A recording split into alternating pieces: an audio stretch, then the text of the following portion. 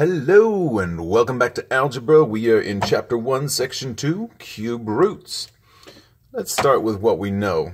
This is a square, 3 by 3.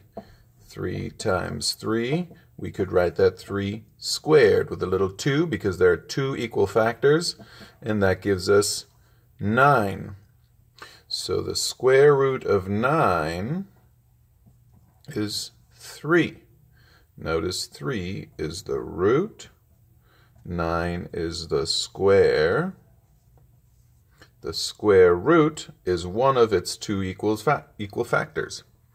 Now, here we have a cube. This has three dimensions, length, width, and height. So in order to find the volume of this, to see how little, how many little cubes are there, well, there's 9 in this layer, 9 in this, 9 in this, so that'd be 27, or 3 times 3 times 3. So here I have 3 times 3 times 3.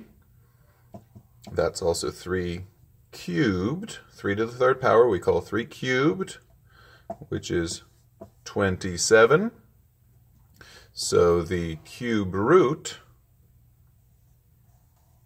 notice, different from a square root, I put a little 3 here, cube root of 27 is 3. 3 is the root, 27 is the cube of 3.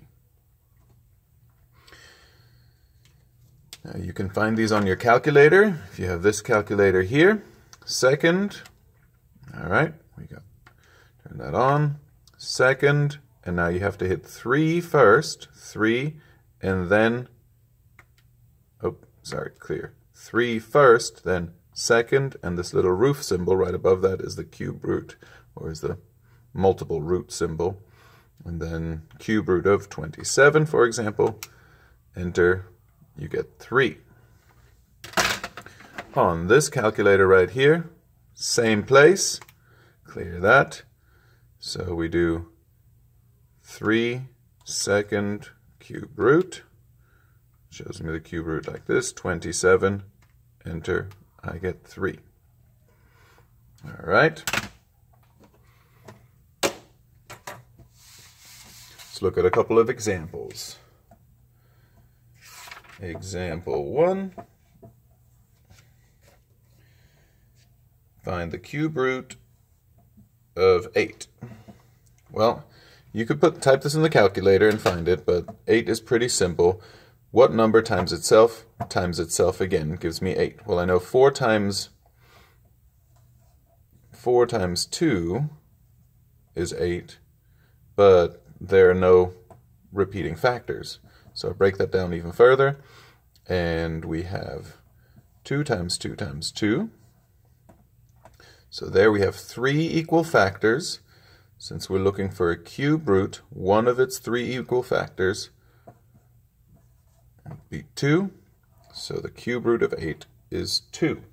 Now if you have a fraction, you want to do the cube root of 27 over 125.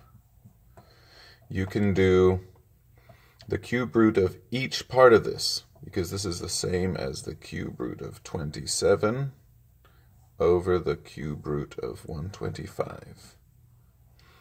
So the cube root of 27 we've already found is 3. The cube root of 125 is 5. You can type that into your calculator, or you can practice to know a few of these cubes at least. So we get 3 fifths. All right. Next, let's look at example 2. We have 2 times the cube root of negative 216 minus 3.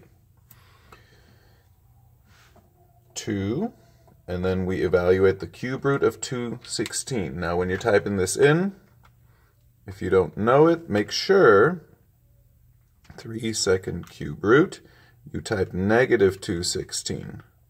Okay, because the cube root of 216 is 6. Cube root of negative 216 is negative 6. Now this needs to go in parentheses because there's no operation out here. So parentheses negative 6 minus 3. Means I'm multiplying these, get negative 12, minus 3 is negative 15.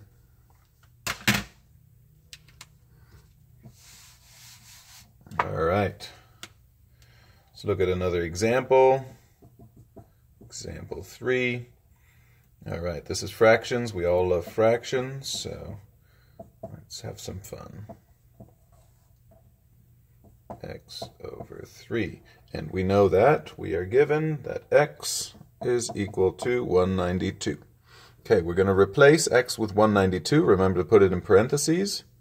192 over 4 plus the cube root of 192 over 3.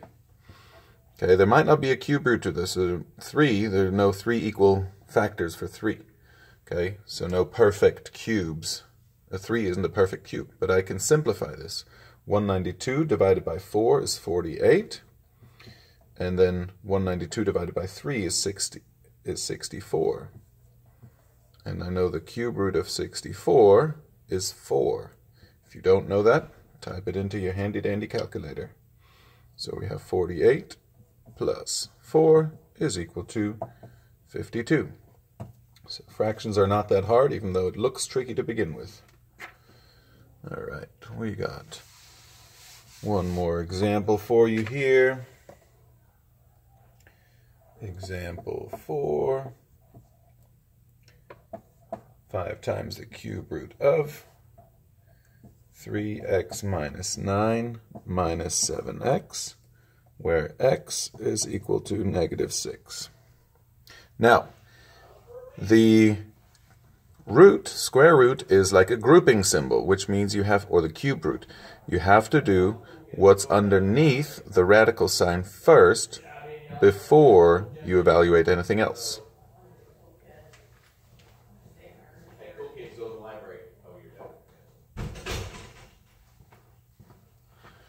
All right, plug this in.